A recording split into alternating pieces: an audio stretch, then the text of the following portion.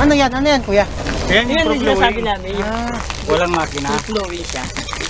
Yung basak lang, tapos nilalap na lumalabas. pwede ba gugat? Ano Oo. Ay, tayo. Hindi, mag siguro papalap pa rin. Ah, Pili lang tayo doon sa kabilang sakyan. Sino yung sakyan natin isa? pwede naman yung to. Oo. Hindi naman talaga yan.